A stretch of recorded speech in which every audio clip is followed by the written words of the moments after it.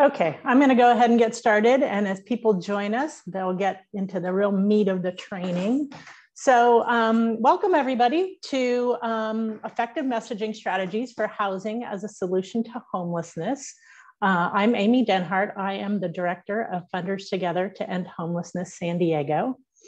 Um, and I'm here joined by uh, our wonderful partners in this work, MXD Communications, and I'll introduce you to the members of MXD in just a bit. So um, thank you all for being here today. If you just joined us, um, over 180 of you registered for this. So it's really exciting that our community wants to learn more about how to effectively message to solve this uh, issue that is so near and dear to our hearts.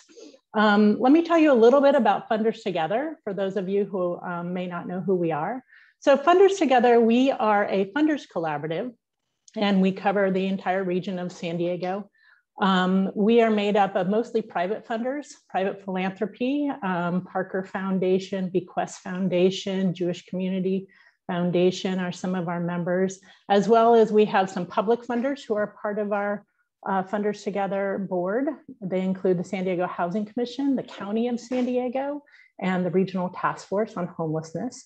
So we, what we do in terms of grant making and investing in we invest in the homeless crisis response system and we do it on a system wide level. So while all of you represent, or many of you represent wonderful providers and have philanthropy that rightly invests in the great work you're doing, we actually pool our resources to look at um, the system level response and how to make the system as a whole just work better. So that led to um, why we decided to do this almost a year doing this uh, research and messaging campaign.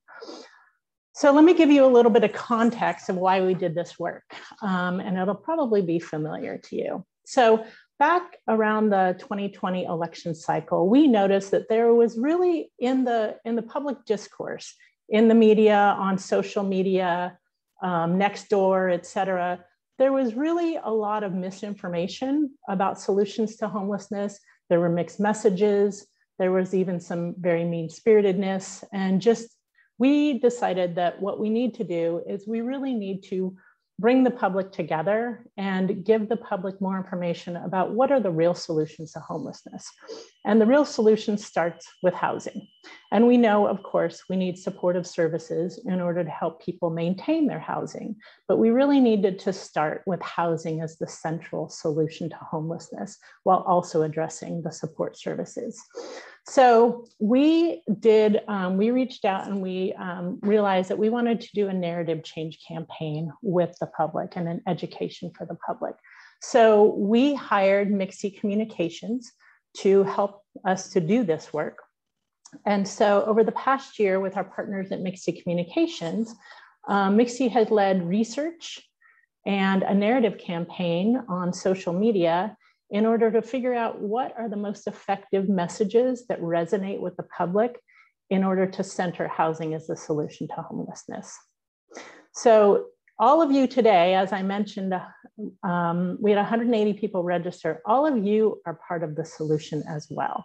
So what we, our goal with this is funders together, a small funders collaborative is not going to be the main messenger for this campaign. We ran a social media campaign.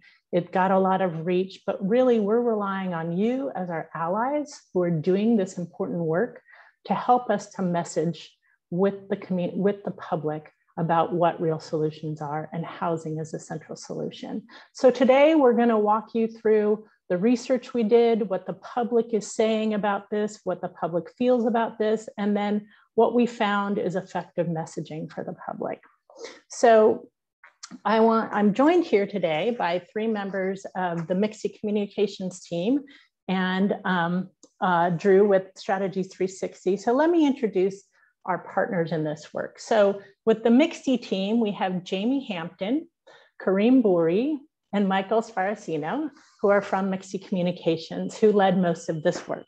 And we're also joined here today by Drew Lieberman with Strategies, Strategies 360. And Drew led our polling work, which was really to uh, really important to this campaign in terms of gauging what is the public saying. And also Drew helped us really to target our audience. To We were really targeting kind of moderate voters in the coastal county areas with our work. So um, I'm going to turn it over now to Jamie to do, oh, housekeeping, I'm sorry. Um, if you have questions, we're actually going to do questions at the end. So we're going to open up Q&A at the end. So please remember your questions. And now I'm going to turn it over to Jamie Hampton with Mixte to do the training. Thanks, Amy, um, and thanks for the opportunity to support you all on this work for the last year. Um, I'm actually just going to kind of uh, touch on how we got here. Um, next slide, Jeremy. Real quickly, um, Amy, you covered a lot of this, but I do want to talk about housing first as this jargony um, social program that we all know. Um, and what was important for us about sort of looking at housing first versus the language of housing as the place to start to solve homelessness um, is that we sort of had to break through the jargon, though we know this program is specifically mentioned um, as key parts in the strategic plans for the city and the county. So um, it's a really critical aspect for us to figure out and how to um, get the community to understand that what we mean by that is starting with the home and then the services come from that and that combo is um, a, a, key message to help us um, eventually get to the end of homelessness. Um, I think Amy covered the rest of this, so we can go ahead and go on to the next slide, Jeremy. I just want to give you a big picture overview of our methodology and how we evaluated data through the last year. And then the other folks on the team will actually dive into that data. Um, so for where we started was basically very large. And then we tried to narrow as locally and as specifically as we could. So we started with this large body of research from a lot of the national institutions and big players that we all follow that are putting out regular research and data all of the time, and several of the key players in regional places. We're going to dig into what we learned from that research, but essentially, we could see the messages in all of those pieces and narrow them or summarize them into five key themes that we saw over and over again used um, when it comes to talking about housing and the solutions to homelessness. Those um, key themes and I'm going to tell them to you. We'll get into the details in a little bit, but I, I just want to kind of set the stage because we talk about those themes a lot. Community, compassion, collaboration, opportunity, and then housing first. Those were the, the kind of the summary of what we saw through that research. Now, as a messaging company, we also thought, okay, well, we need to kind of apply a rubric to that so that we can evaluate which of those themes are effective. So Mixte brought to that five areas that we evaluated those big picture themes initially. We wanted to make sure that there was clear and direct language. We wanted to make sure that it was data driven, but not only relying on data, that there was a story behind it, that the message was empathetic and relatable, and that it had actionable solutions. We'll share with you uh, a little bit later what we found out from that. Once we worked on those um, kind of that big body of research, we then um, worked through a database called Meltwater to evaluate media coverage specific to San Diego County. And then we dug a little bit deeper into social media and the online presence of a few key players, including the executive committee of the Regional Task Force on Homelessness, um, county elected officials, city elected officials, and those folks who were running for office at the time. And then for fun, we looked at the committee members of Funders Together to End Homelessness to see what they were saying online. We then took that and partnered with Drew, who then um, did a poll of San Diego constituents. Um, in that poll, we were working on folks in the middle. So we were looking at high propensity voters um, in county districts one, three, and five um, one, three, and four. Thank you, Drew. And then the city of San Diego. Um, and that is what we then, um, once we got the results from the poll, pulled into our five month digital marketing campaign. Again, focused on the constituents in those areas and the um, in the county and the city of San Diego, really focused on um, high propensity moderate voters, thinking that if we're going to change the narrative and we can affect those people who we, we know we can move, that's where we were going to start.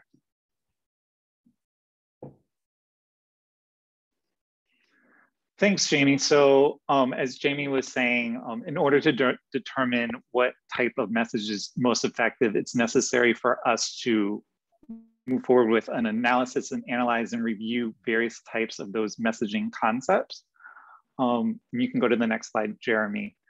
But ultimately, to do this, the first step of our analysis was to look at what the public's opinion was on homelessness in San Diego and what their positions were on housing as a solution. And we ultimately did this through a number of ways. It was through reviewing public opinion polling, uh, conducting public surveys, and as mentioned before, our final phase of our campaign, which was running a five month social media ad campaign. Um, Jeremy, you can go to the next slide. But before we moved into the polling and our social media campaign, funders together ran a hypothesis to determine which messaging theme resonated the most. And Jamie highlighted what these five themes were, and I wanted to dive a little bit more into what um, we actually mean by these themes. So collaboration is when we is the idea of incorporating how education, health, racial equity, and economic mobility are connected to housing. The theme of community is the idea of housing as a means to serve our communities as a whole housing first, this does not, this theme doesn't necessarily mean directly the, the program of housing first, but instead the idea that one must start with a home. Um, a fourth theme of opportunity focuses on the notion that creating affordable housing opportunities means talking about equity. And then lastly, compassion, which focuses, focuses on caring for individuals and meeting their needs. Um, and now what I wanted to do, I wanted to take a real quick poll. These were our five themes. Um, and based on these themes, I wanted to see to you, the audience, which of these five messaging themes you think, before we dive a little bit more into our findings, which one you think would resonate, resonate most with the public. So there should be a, a quick poll that's just popped up on your screen. If you could go in and, and enter what you think is the theme that resonates most. Um, Let's take a moment to do that.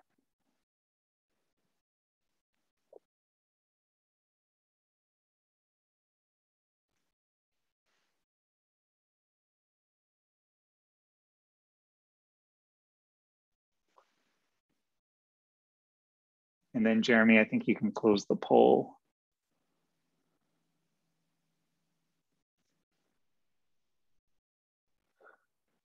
So it looks like from the results, um, community is what you all have chosen to have the most with 30% and actually housing first and compassion not that far behind um, and then collaboration and opportunity being the last.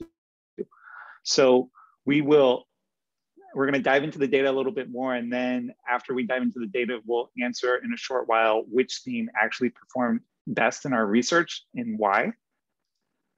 Um,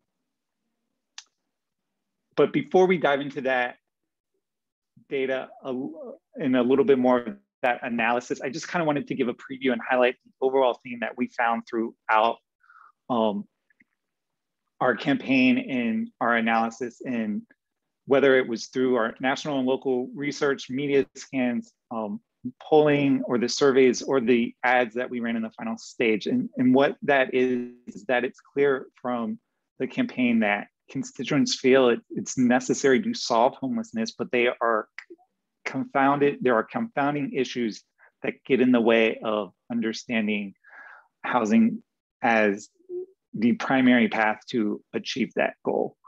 Um, now, Drew is going to dive a little bit more into the data and the key findings of our polling. So I will let Drew take it away from here.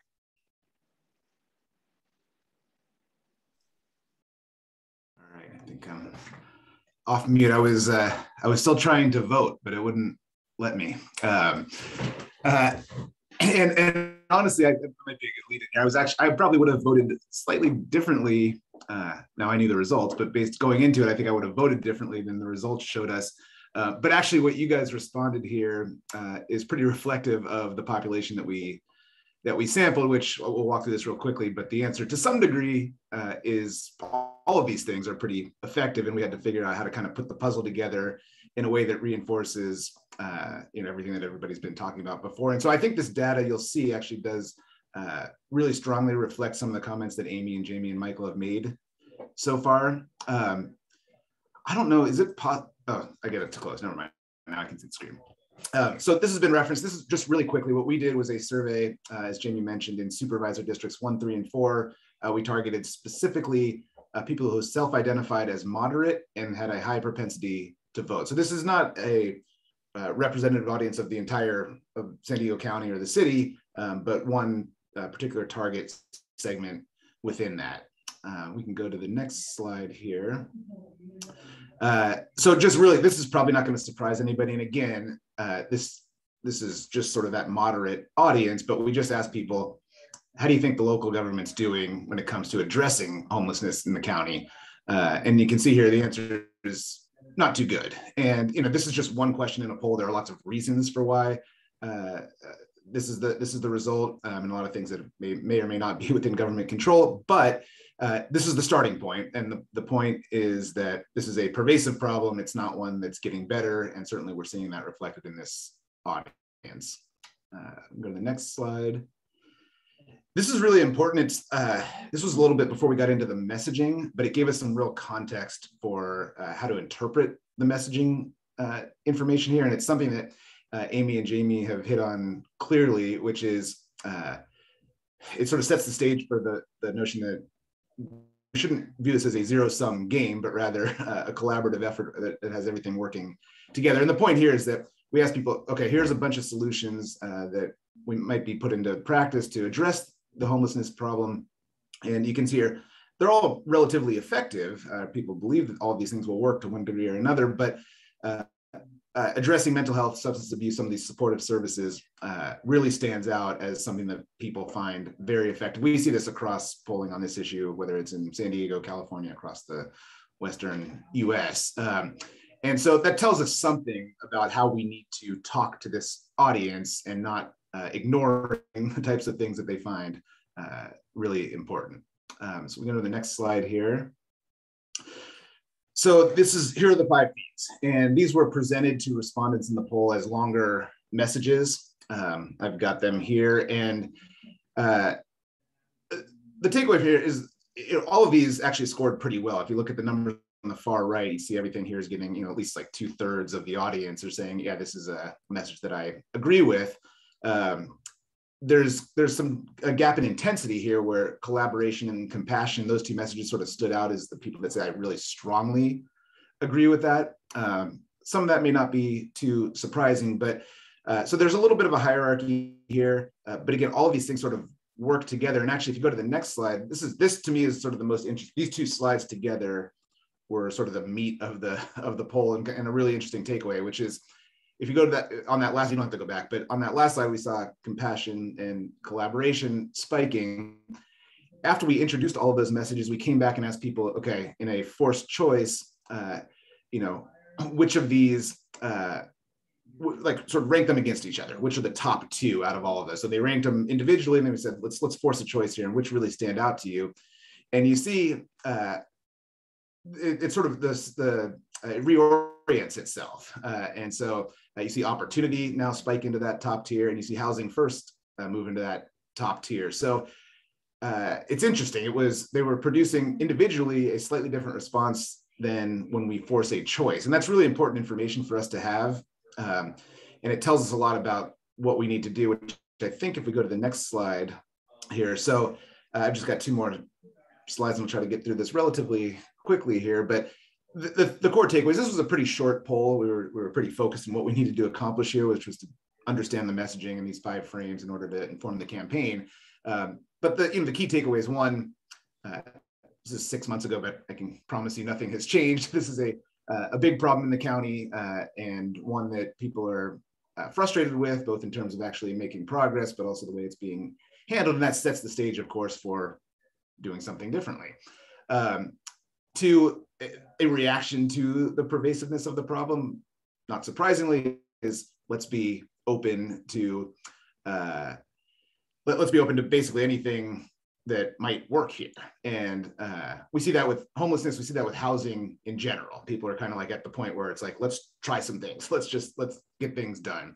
Um, and then we saw, uh, you know, collaboration and compassion sort of jumped out initially, but we we saw this sort of uh, everything elicited a positive response, and then a little bit of a reorientation of the of the top tier in that next slide. Um, so let's go now to the last one. So this is of course like, well, what do we do with this information? What does it all mean? How do we kind of distill this in a way that's usable uh, for the team to kind of start communicating with people?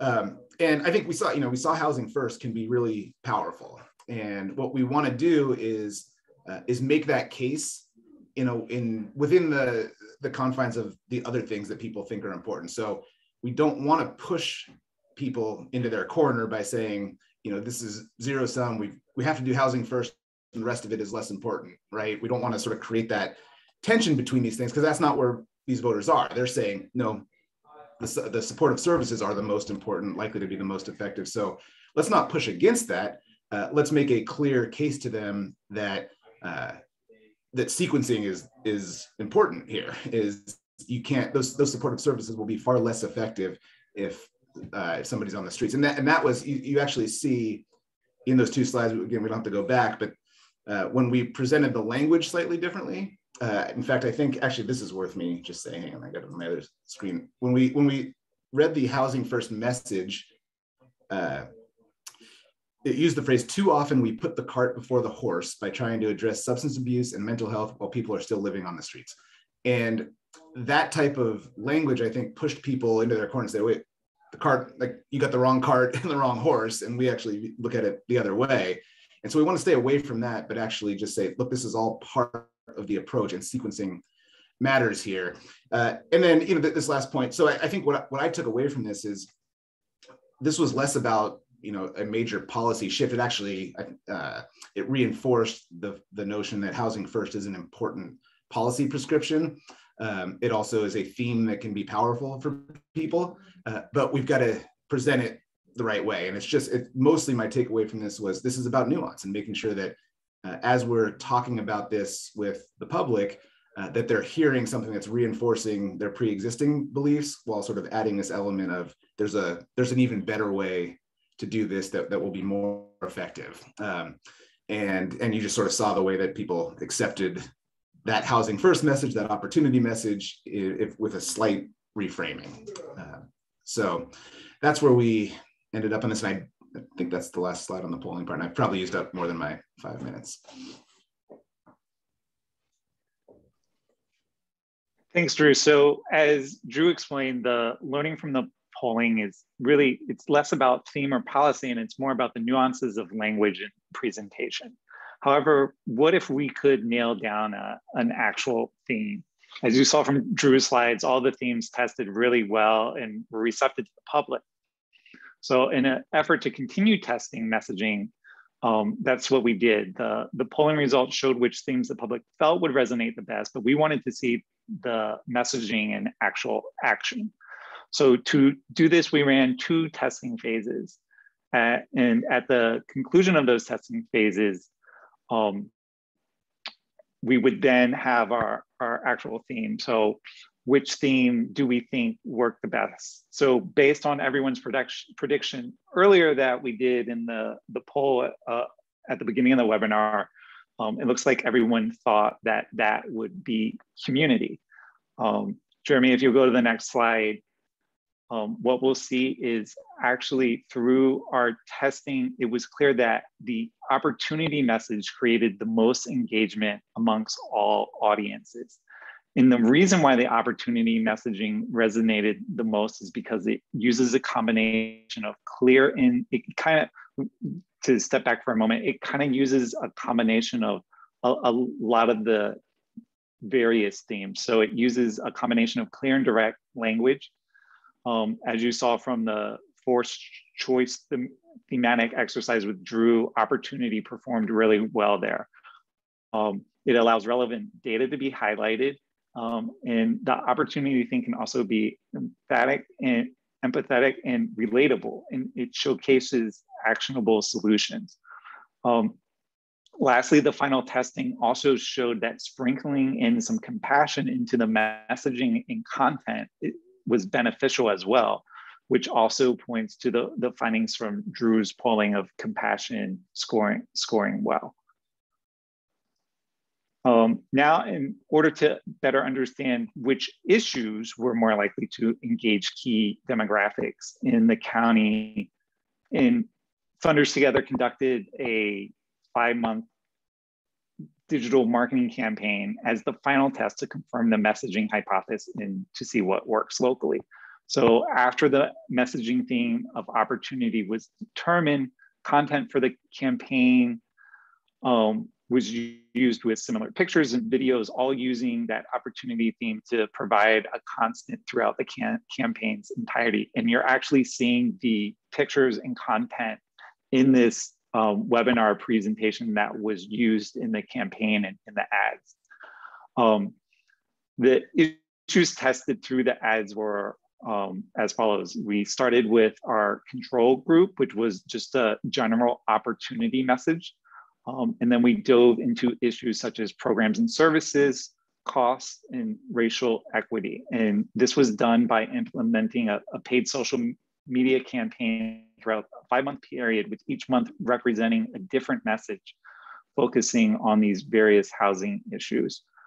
Um, and the same ads and messaging were used in both months, months one and five, that control group in order to determine how the audience was moved from the beginning to end of the campaign and learn if the various issues in the middle of the campaign shaped their opinion over time.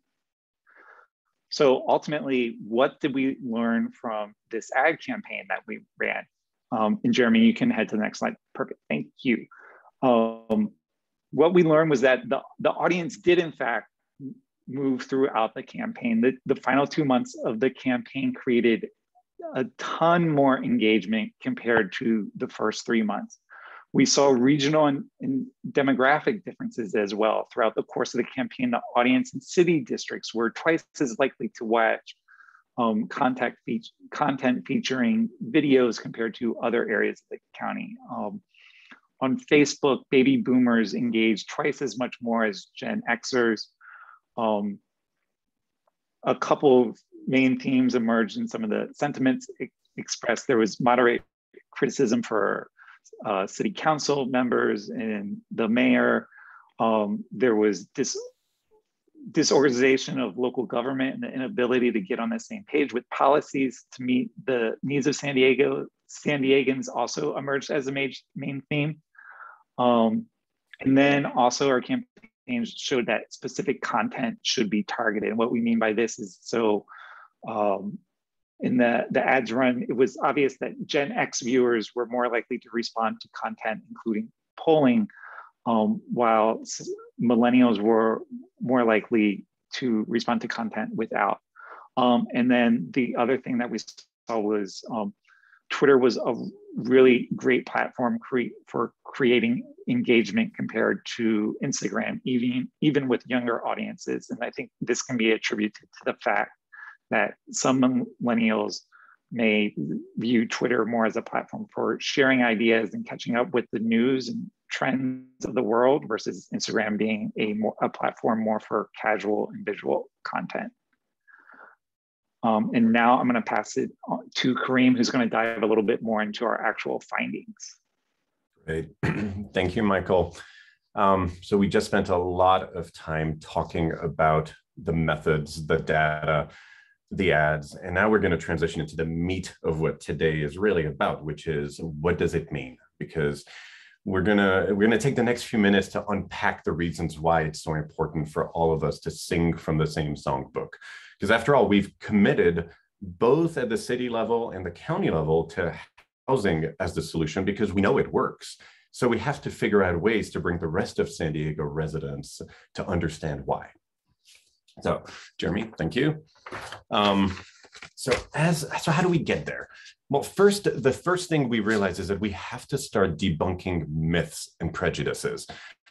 You saw it from some of the data. And for those of you who are the advocates, who are the service providers, you probably bang your heads against your walls regularly when it comes to the reasons that people imagine um, our homeless residents get on the streets in the first place. So, for example, we the overwhelming majority of constituents believe programs are essential. So that's a wonderful thing. But the, the, the big, the first challenge we have is which programs they seem to think are most essential. For example, the number one program, and you saw that in the poll results, that the public believes are necessary are services to provide mental health and substance abuse support. Well, those of you who are in the field know that those with mental health and, and substance abuse needs account for less than 40% of those without a home. So we have this big disconnect between the image of who is homeless and the kinds of needs that are more important for them.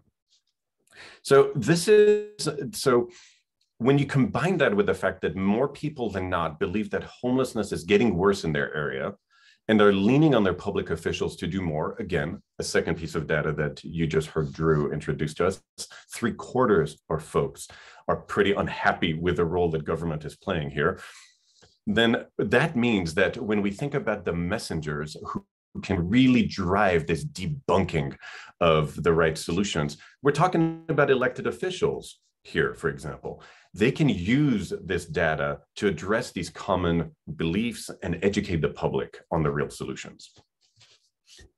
So if we move to the next slide, Jeremy, we, we just spent a little bit of time really maybe giving our elected officials a hard time, but let's look at another opportunity here to improve our collective messaging. And those other kinds of public facing platforms and individuals who have access to those platforms.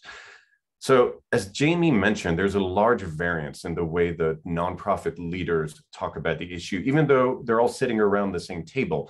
We looked you up. So, anybody who's on the RTFH executive committee, we looked you up. We looked at how you were talking about the issue on your websites, on your blogs, on, in media. If you were interviewed, we we looked at your social and figured out who's what word and what themes do you rely on most? And as Jamie and Amy both confirmed, there's no consistency in the frame and then the theme that's being used here. So another opportunity is media. So from an engagement and education perspective, educating those that cover the topic the most is a critical opportunity for us.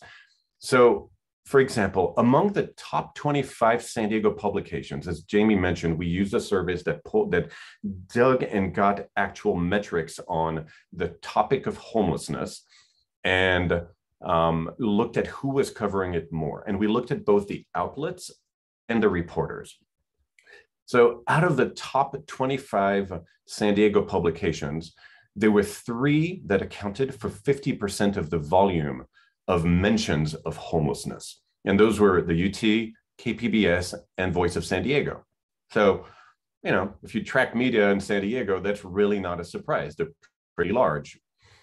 Um, but if you start digging into where maybe who are those, the individuals within the media sector that are mostly influencing and covering the story, there were three people that accounted for more than one third of that volume.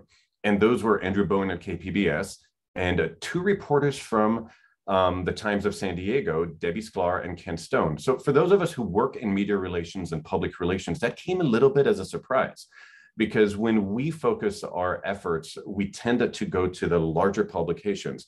But when you look at the amount of coverage that Times of San Diego is giving this issue, this is such a missed opportunity to some degree that we have that we can now capitalize on.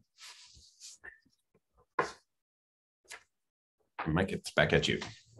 Thanks, Kareem. So uh, another opportunity that we have here is to use social media to get out our messaging. And social media is a great tool for building awareness. Um, it provides a platform for city council members, um, county board of supervisors, RTFH representatives, and so many more to spread their word. Um, it allows a greater amount of people to be reached and the data availability makes it possible to gauge when sentiment is being moved. Um, hence, there's even more reason why it's important for all to be sharing a consistent message. Um, what we found through our research is images of real people experiencing homelessness in, in San Diego um, are important to be, it's important to, sh- are, were um, vital and outperformed using basic like stock, stock photography. And I guess the message that driving home there is that um, it's important to showcase real moments in in in their quality um, and environment.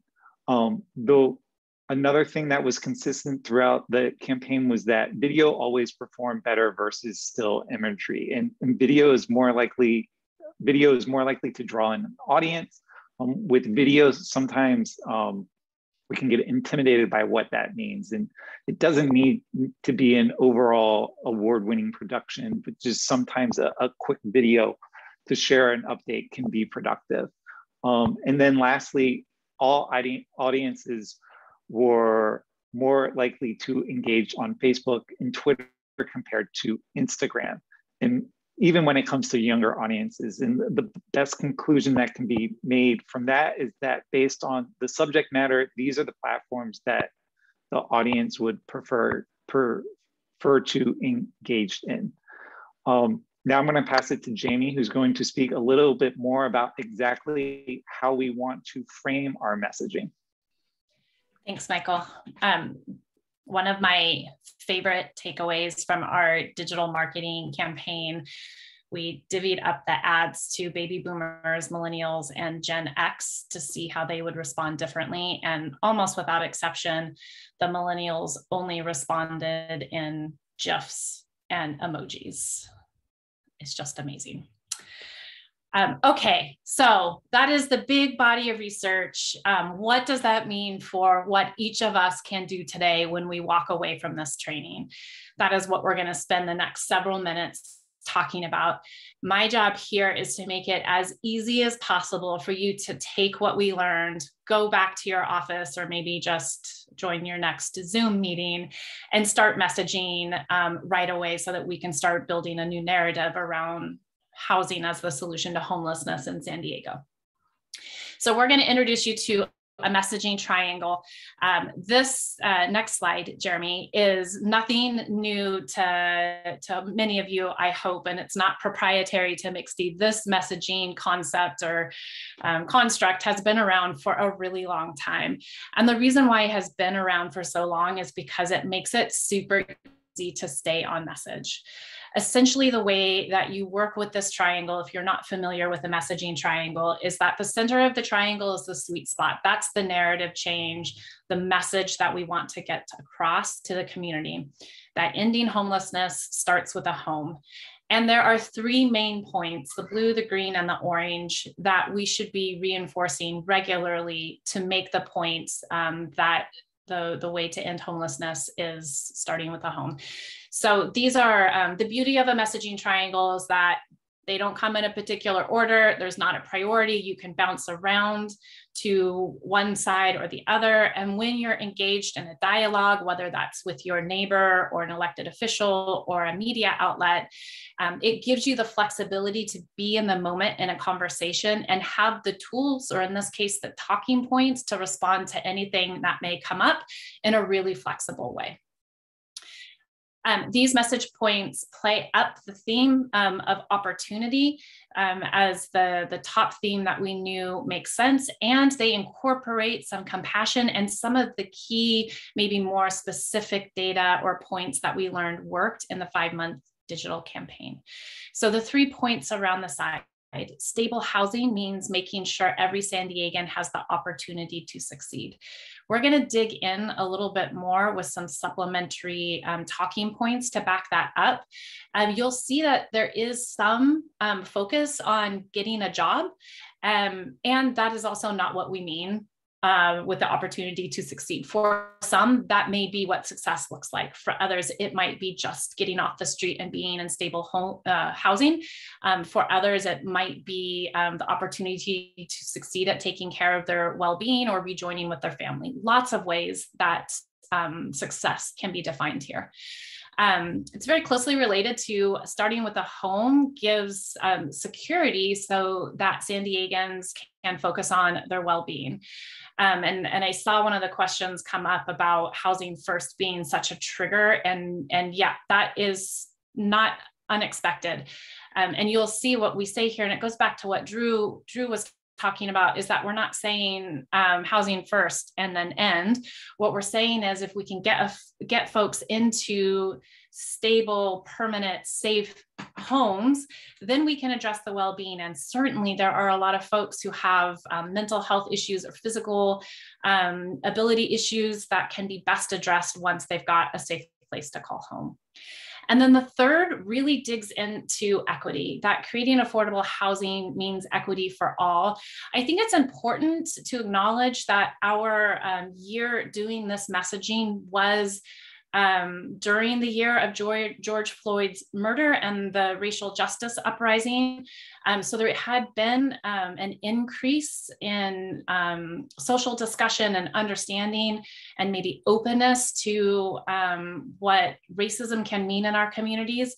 For those of us that work in the homelessness industry, we know that um, we have disproportionate representation from several communities within our um, uh, folks who are homeless. Um, and we also saw that people responded really well to ensuring that when you're starting with a home, it's an equitable home that all folks can afford so that more people can get into them. Um, so we're gonna um, dig into the supplementary talking points that go with these three main points. But first, uh, on the next slide, Jeremy, I just want to pause and talk about key things that you need to know when using a messaging triangle. Uh, I say this to my clients all of the time. If you think you are always saying the same thing, and maybe you're kind of bored with what you're saying, that is great. You are messaging. Um, for the amount of people that hear one single TV interview or read one tweet, or maybe read an op ed, or might hear you at city council, there are thousands, maybe millions of people who did not get the opportunity to hear you say that. So, really strong messaging means that you're being repetitive because you're always saying the same thing. And now we are asking you, as our allies in this work, for all of us to all be saying the same thing, starting with these key messages. And if we can do that, that is where narrative change comes. Um, so, when do you use a messaging triangle? Always always come back to this main point and always utilize the three main points that um, back up the, the main premise that solving homelessness starts with the home. So in your funders meetings, in your annual reports, how you're posting on social media, what you're sending in your emails, at cocktail parties, mowing the grass with your neighbor, when you're speaking up at city council, when you're training your staff or your team who might not even be on the front lines. These are all opportunities to be on message to ensure that anybody who you come in touch with is also on message. Another key point um, and you see it in here in the language that we're using specifically is to keep it simple. I've been working with a homeless service provider through Mixte for about nine years, and um, I'm familiar with terms like supportive permanent housing, bridge housing, interim shelters. I hear all of that. And even as a person who's somewhat been exposed to these kind of messages over time, I still really have to think about what that means.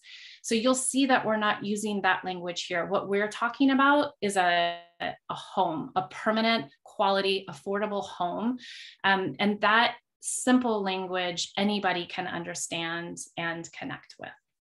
So, just generally, those are really important concepts to keep in mind when working on messaging from a messaging triangle. So, now I want to dig in just a little bit deeper. Um, so, when you use a messaging triangle, um, you make your point. So, we are now looking at the blue, the top of the triangle, that it means making sure every San Diegan has the opportunity to succeed. We are now offering you some backup talking points um, that in order to succeed, it, it means that everyone has um, or deserves to have a job or to live in high quality, affordable housing, regardless of their circumstances. This is something that we heard in our digital marketing campaign that really resonated with people. But we also know that it's not just about the job, right? Um, it is also just about improving economic well being. Um, how do you get your monthly check from the government to buy food and take care of yourself if you don't have an address? Basic things that we know that are critical for economic well-being um, start with having a permanent home.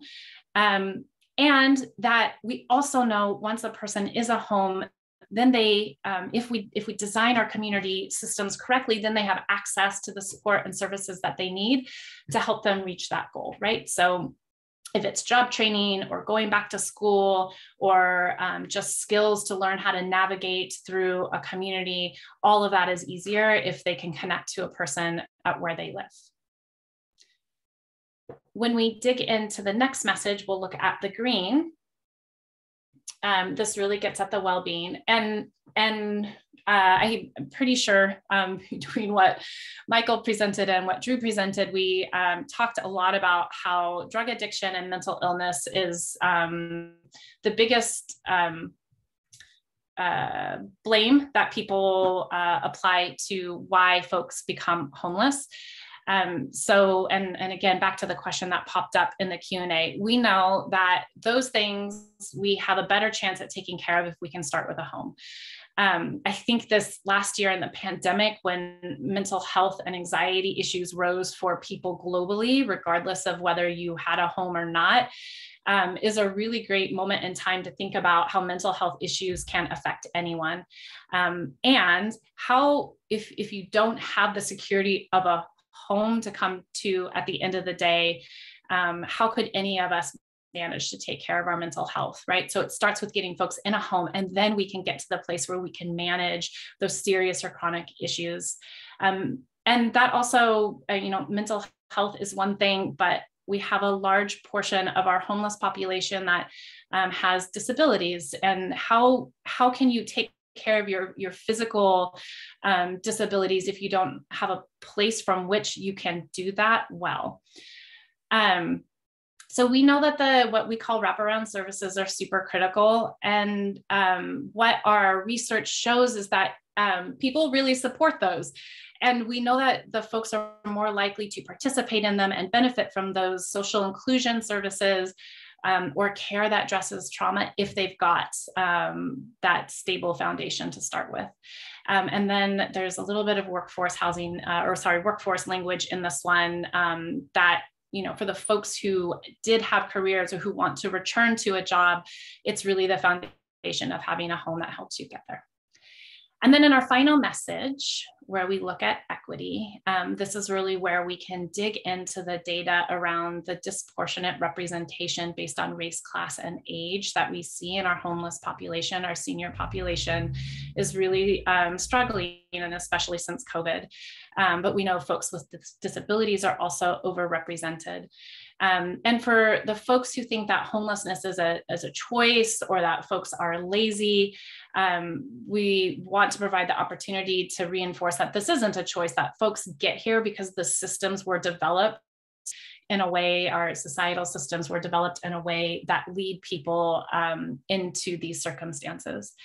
And then essentially, um, housing is a right and needed for every needed for everyone. Um, so those are those are the backup points. Um, I do want to talk about what this means for you again, walking away from today. How do you take action right after this webinar to start putting those things into play?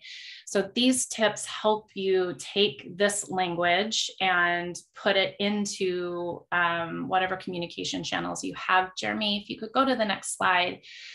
Um, these are these are based on data right? And they are the best research that we could provide locally.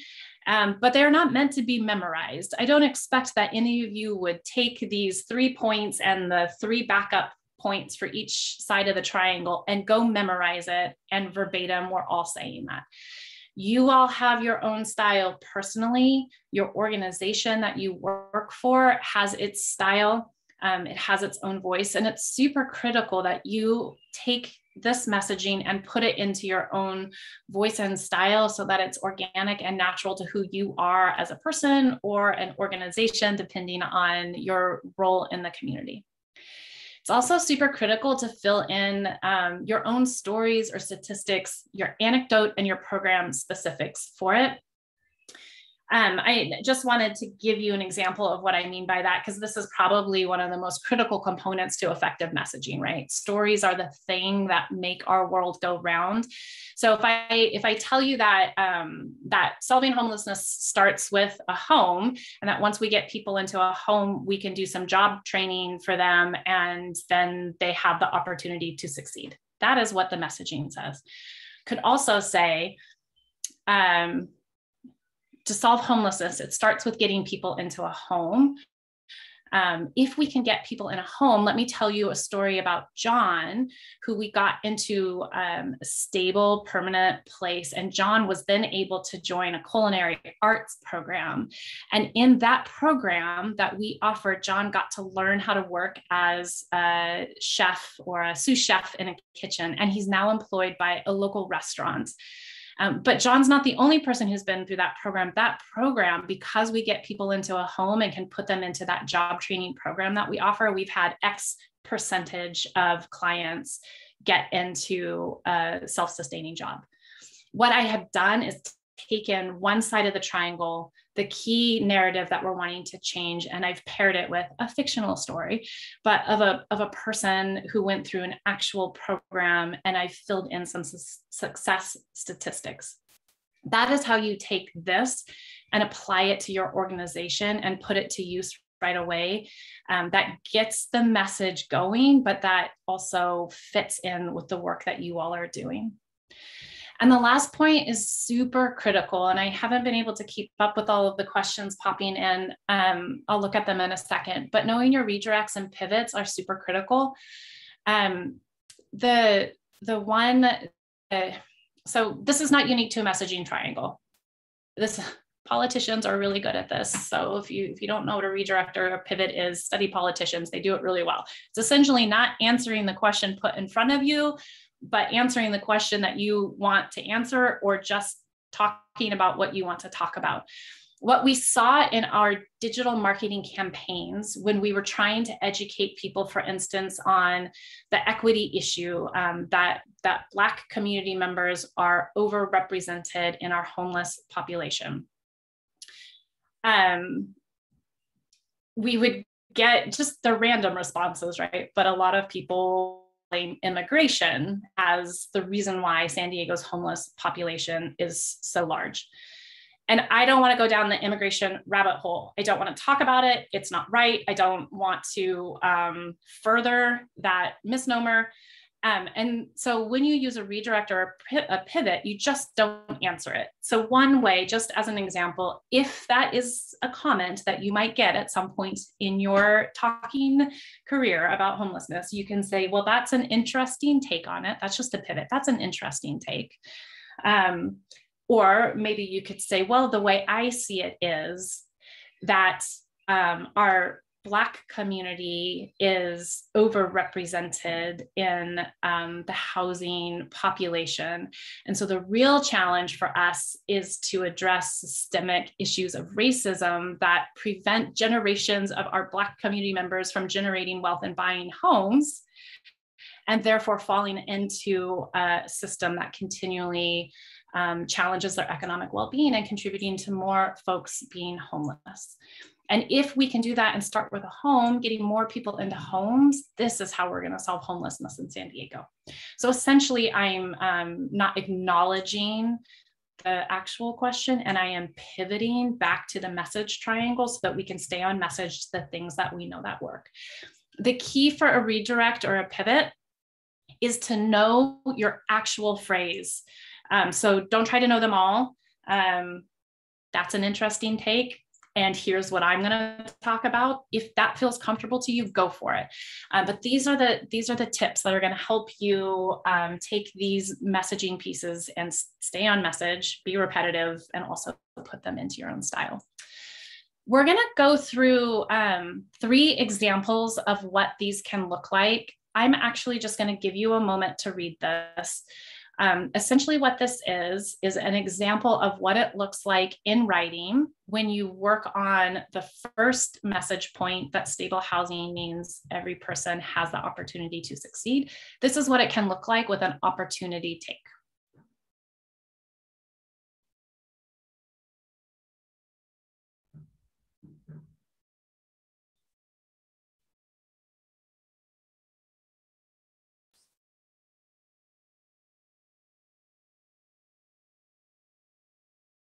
I'm sure many of you attending this webinar work on maybe one or two or perhaps all of those bullet points. Um, it's a pretty simple message to create, um, doing the things that we already know work here in San Diego. If we look at the second, um, second piece of the triangle, the green one, Jeremy, here's what it can look when we put it into play to talk about um, mental health issues.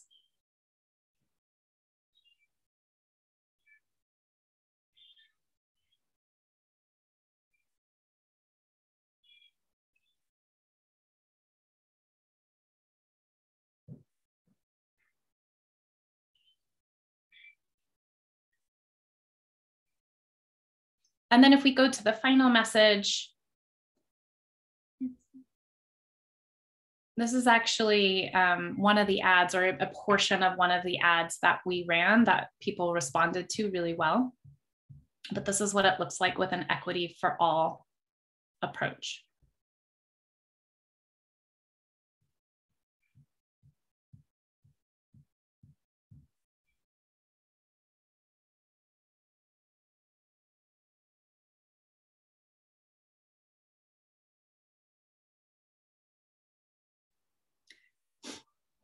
So with that, um, I think, Michael, do I pass it back to you?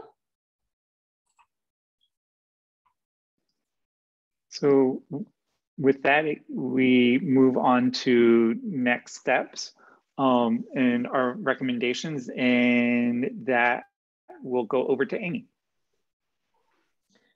So you've all heard like the background, all the polling, all the research we've done. Then we give you um, real messaging you can use in the form of messaging triangle to speak with, speak with your community. And you're an integral part of making this successful. And where do we go from here?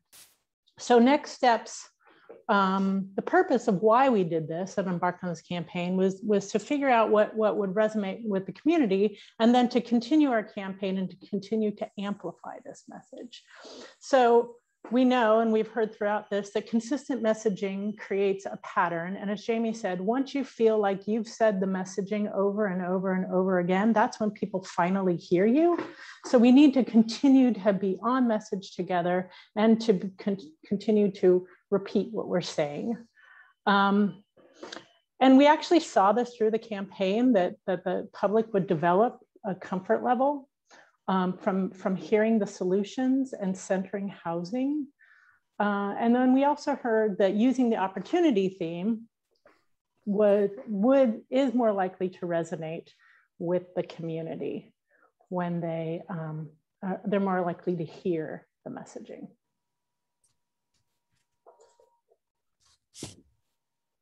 So another part of the solution is um, of local officials and providers that we're, we're all here. There are, there are 94 of you here on this webinar, which is fantastic. So once again, all of us need to be amplifying the message, um, as Jamie said, and talking about it, whether it's at a cocktail party, whether it's um, in our newsletters to our donors, whether it's training our staff. And elected officials are also part of that solution. All of you are, uh, most of you are members of the RTFH COC. And so we really are counting on you to help us to amplify this message and continue to influence public opinion so that we can move the public dialogue and support elected officials in making the right choices. I think Kareem is next. Thanks. Well, as you heard from Drew, there's an overall fatigue and frustration across the board from San Diegans which is why they're asking for us to have to, to plan um, and having a timeline for solutions. They just want clarity on what we're going to do next. So, for example, with, with recent funding opportunities having yet to, to generate any kind of um, results or consensus in the in the public eye, and I'm talking about things like Measure A or Project Roomkey or any of the ARPA designated funds during the pandemic, any kind of housing solution takes time. While our local residents are just asking for plans that include clear goals and regular, transparent progress reports to know if, if we're on track as a region with those objectives.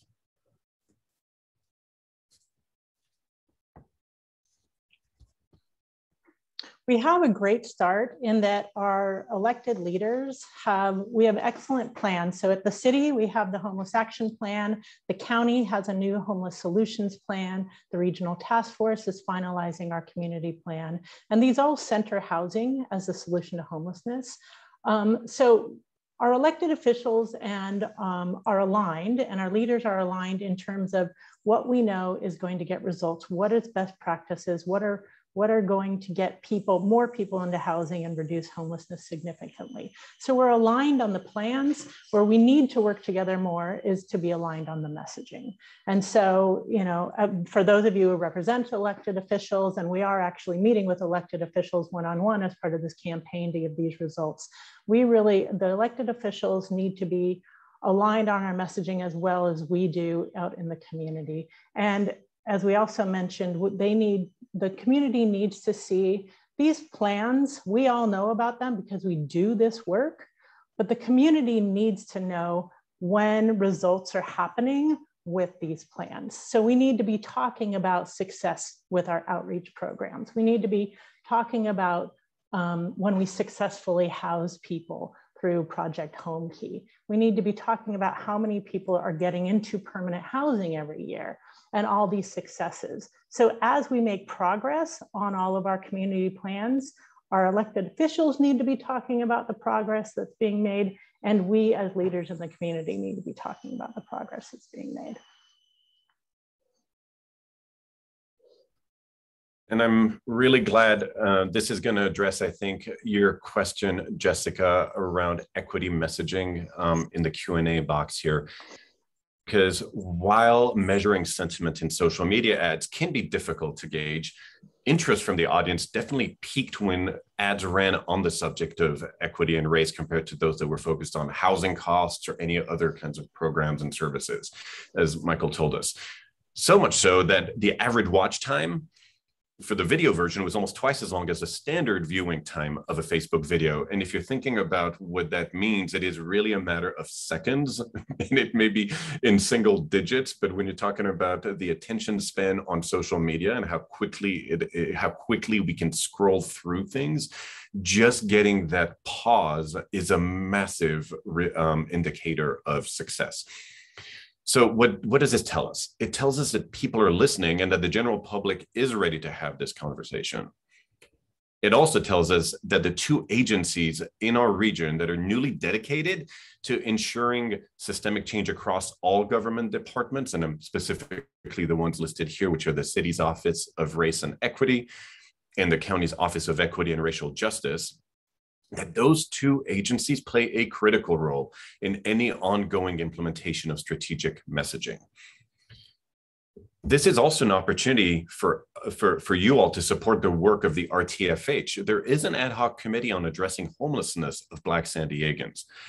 And you all know this, this is really preaching to the choir, but according to the 2020 point in time count, Black persons accounted for 21% of the unsheltered population and 30% of the sheltered population, while only being about 5.5% of our general population across the county.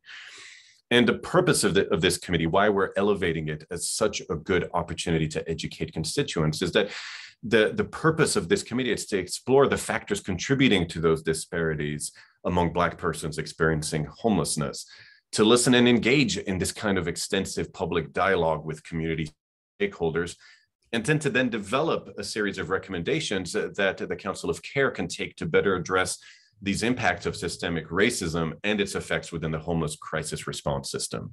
So, yes, we all have an opportunity to start put, shining a light on what is really behind homelessness. It is systemic, it is not choice, it is not a question of mental health. It, it is it, the time is now. We have such a wonderful opportunity ahead of us. Another opportunity that we have here in terms of educating constituents um, we know that permanent housing solutions take time but there has to be an urgency. And i'm not saying this this is not us extrapolating or making recommendations. This is what the surveys and what the, the, the responses to the ads and the poll have been saying consistently that um, in the interim we know that these things take time but in the interim there are short-term fixes fixes like shared housing, rental subsidies, or reducing criminalization that can be used to move people off the streets and bridge them to more permanent opportunity.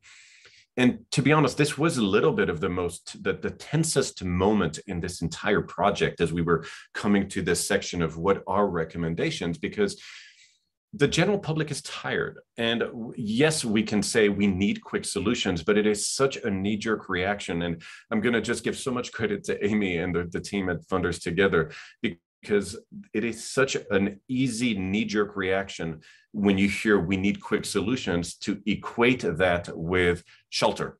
And we know that's not the solution. We know that's a band aid that has been attempted and tried and repeated over and over in the region with very poor success. So what we know is that cities like Salt Lake and Houston have presented adaptive strategies um, that that prioritize giving people housing and and and help them with temporary solutions. So we can highlight those, but we also have to acknowledge that San Diego is not Salt Lake and it's not Houston because we have a very different housing market. The inventory is different, the regulatory structure and environment to develop housing is very different. So we have some limitations that potentially other municipalities don't have. And that's just a reality. It doesn't make us any worse. It doesn't make us any bad um, or any better. But it does mean that we need to acknowledge this fatigue and we need to start elevating some of these interim solutions.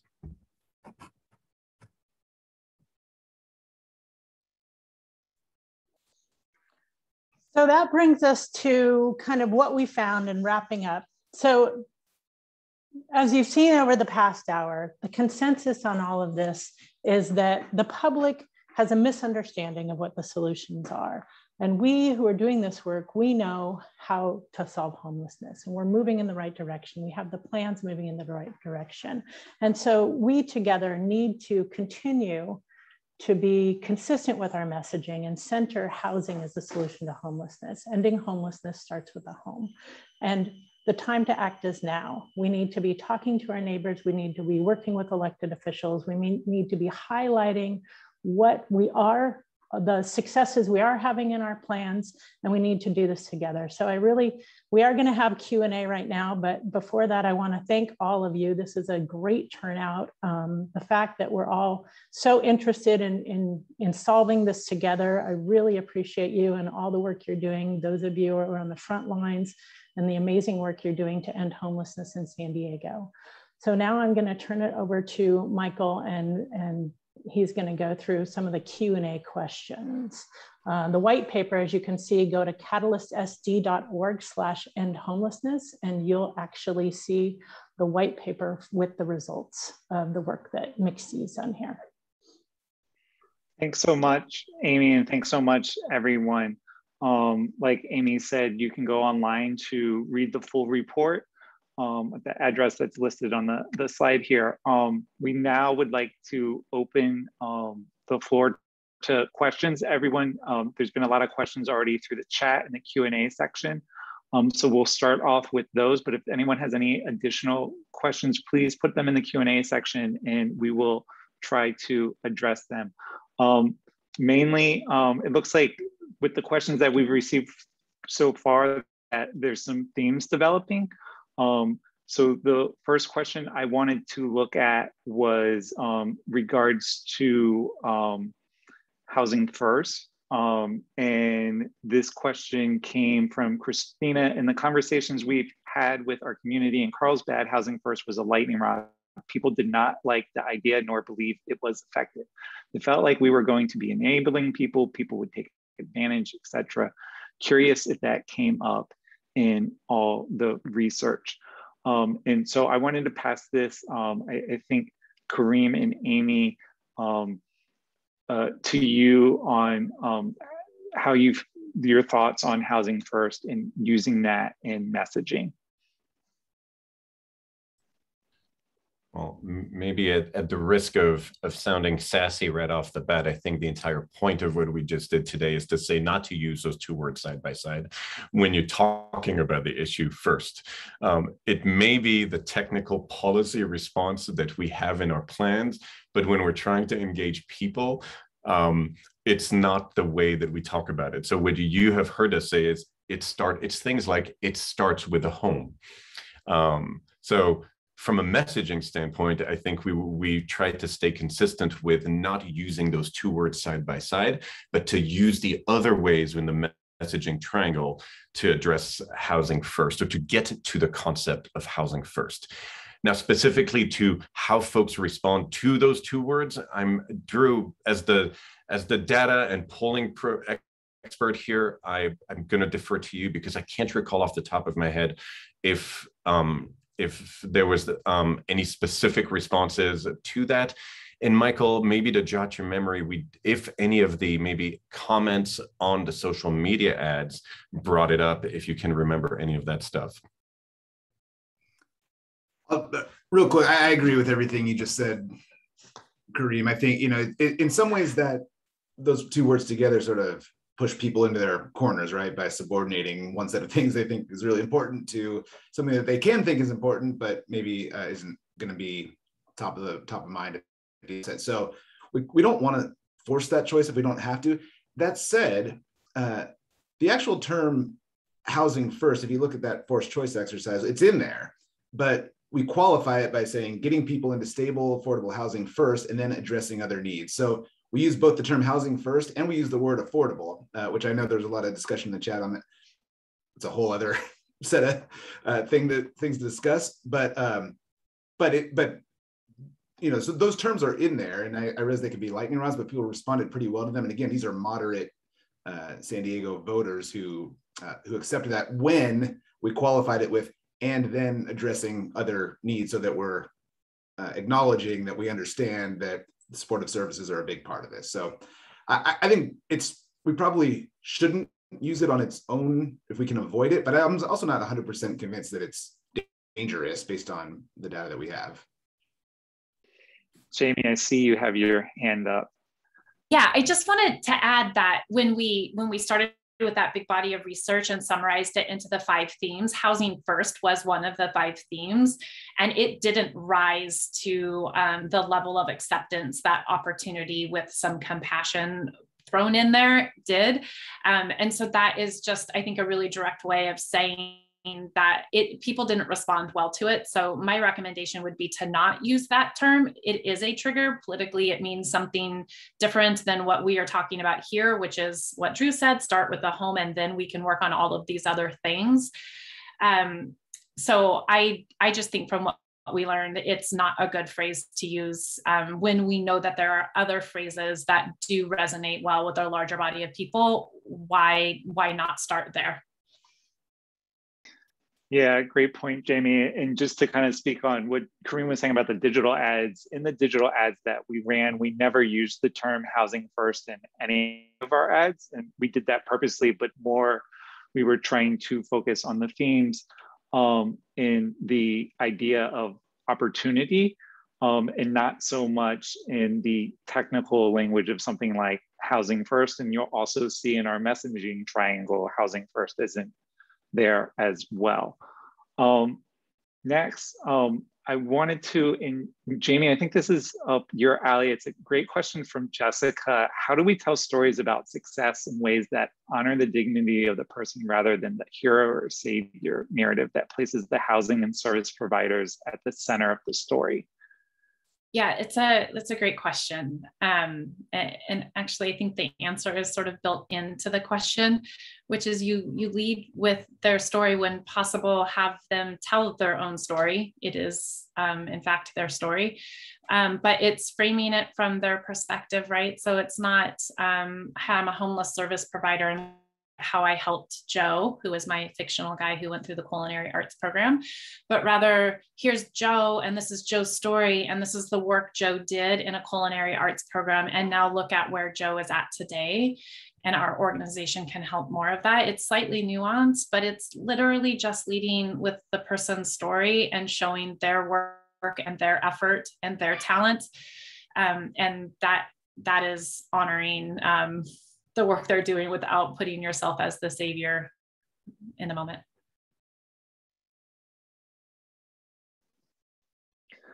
Thanks, Jamie. So um, another thing that we're also seeing that uh, theme we're finding in the questions and just kind of to address it overall, um, and I'm going to go with the question from um, sorry, I had the question up and then I just lost it. Oh, it's from Amy who is asking is, is affordable housing a trigger um, in the sense that it implies a type of housing? Would it be better to frame it as housing that one could afford? Would that sit better with people? Um, and I'm gonna start us off and, and say that yes, that framing of housing that they can afford, it speaks directly to the opportunity theme that we're reporting out. Um, and also more than just that it's also the idea of the opportunity for people to have quality housing. So it's not just necessarily that they can afford it but also um, that they have good housing quality housing as well. Um, jamie uh, or amy i wasn't sure if anything else you would want to chime in there I actually took a moment um, when I saw the amount of questions that came up around that. I took a moment to go back through our ads to look at the language that we had tested. And we didn't actually use affordable housing in um, any of the language. So I may have brought that here as an additional phrase. Um, so I apologize for that piece of it. Um, we weren't testing that. We were testing housing as a solution to homelessness, and we we stuck very closely to that, aligned with the different um, themes. So yeah, I um, I love that there's some existing research on um, on how to phrase it, and absolutely everything that Michael said to just go with that and incorporate it.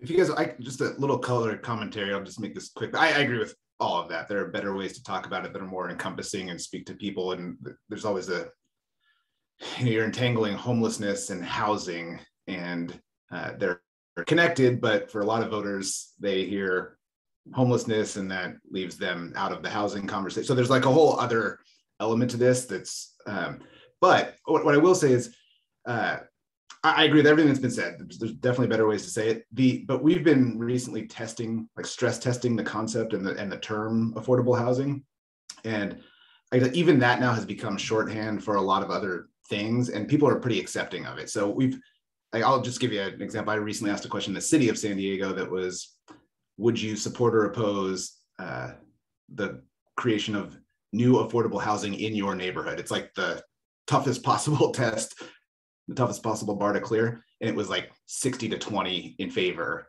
in San Diego. So I think there's I think the stigma attached to that has become lessened as the, the housing crisis has skyrocketed over the over the course of the last year or so. Um, so I'm not saying we should use affordable housing. I'm just saying that there's less stigma attached to it than there used to be.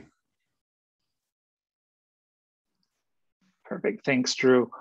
Um, this is a, a question from Jessica. How do you use the opportunity? This is a really good question. And how do you use the opportunity message, which largely seems to, in I, I believe what Jessica's getting at, in the examples that we've provided today, focus on employment. And given the rise of housing insecurity and homelessness among seniors, who are less likely to join, rejoin the workforce given age and health conditions.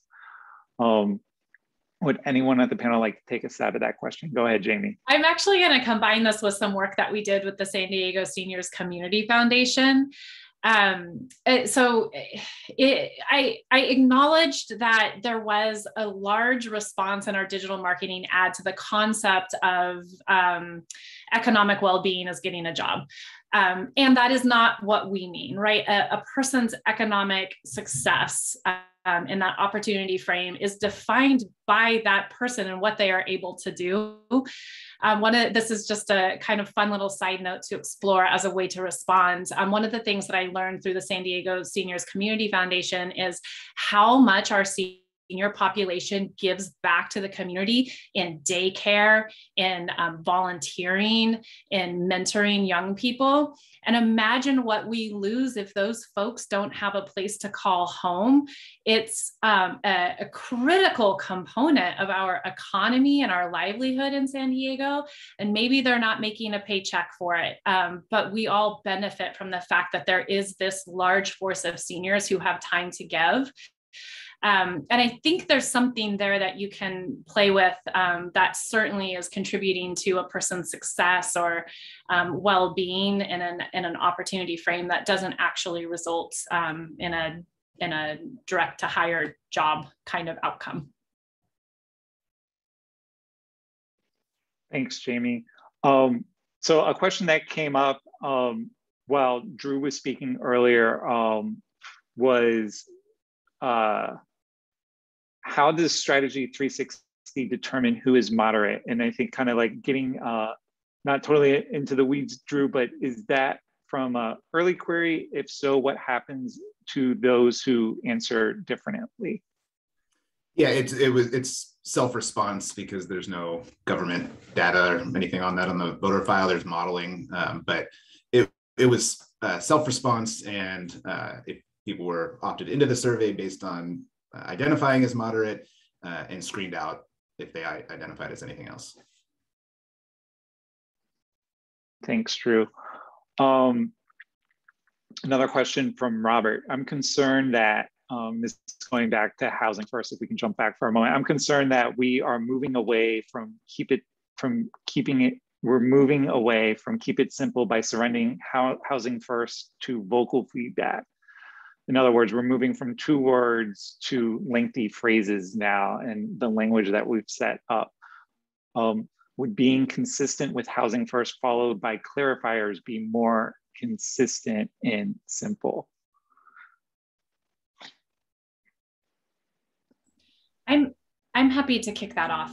Um, housing first doesn't mean anything to anybody who's not in the industry.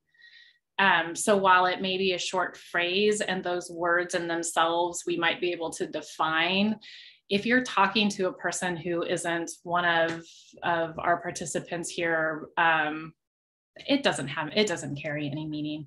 So to to take the opportunity and to use words um, that people understand and to describe um, what we mean in very simple words may it take a few more words probably but i think it's okay because the the meaning and the value of that meaning that we're able to get across will um, land will be received well will be understood much better than relying on jargony shortcuts that um, those who who are surrounded by it every day um, uh, get to apply a meaning to. Go ahead kareem and I'm, I, thanks. I I may take a slightly different angle as well, Robert, in answering your question. That, and I think we live in a time where there is heightened sensitivity and and heightened vocalization and opposition in public settings. Um, but if we can step back, and that is our job sometimes, uh, to to look at the big picture, that it and it takes a lot of humility from our part to step back and say is there a nugget of truth in all of that vocal opposition? And what is it? And where where are folks what is the commonality among some of the pushback? And if we if we take out some of the um, the really maybe the extremes if we look at the like the bell curve and the folks who make it to the media with their their crazy public comments if we take that crowd out but we listen at to we listen to the folks who have questions or who are pushing back. I think that it takes a lot of work on our end to just ask ourselves where where are they coming from and and can we can we meet them halfway? And i think that that's what we're trying to do here which is the trigger is the combination of those two words. We put two capitals in front of them. We're pushing it as a policy response and that doesn't resonate with folks. So it's it's there's another way to get there and that's okay. We're meeting them where they're at and we would do the very same thing in any kind of other social services. We we're very proud of meeting people where they're at. And it's it i think it just takes that level of humility to acknowledge that in our own communication sometimes as well.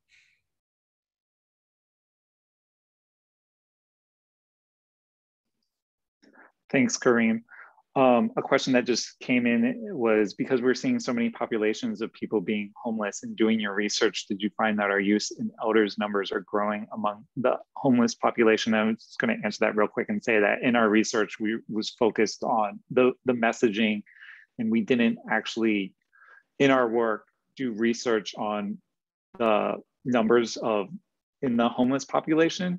Um, that's not what we were focused on. It was more of the the messaging with the public.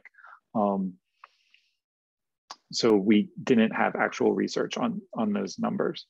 Um, I know we're getting close to time. Uh, another item I wanted to add is that I've seen a lot of questions about if these slides will be made available. Um, we will definitely do that. Um, I'm pretty sure that we can email the slides to everyone who's joined this webinar today. Um, and provide those for you so you can run through them, um, especially the, the messaging section that Jamie was so great to go over earlier um, in the webinar. Um, and then if there's any last minute questions, um, drop them in. And if not, then I, I think that concludes our session for this morning.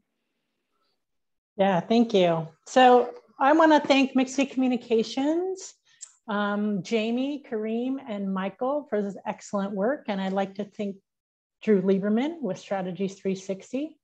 Um, so and the, the members of Funders Together for, for funding this work and supporting this narrative change campaign. And then mostly I'd like to thank all of you for the work you're doing on the front lines and the fact that you're all here today to learn this and to work with us together. So as we move into phase two, you're all going to be getting these slides. It seems like there's a lot of energy around social media content, about additional message training. So we really appreciate your feedback and we'll take that back to our group and consider what are our next steps for continuing to move this work forward. So thank you all of you for being here today and uh, have a great day.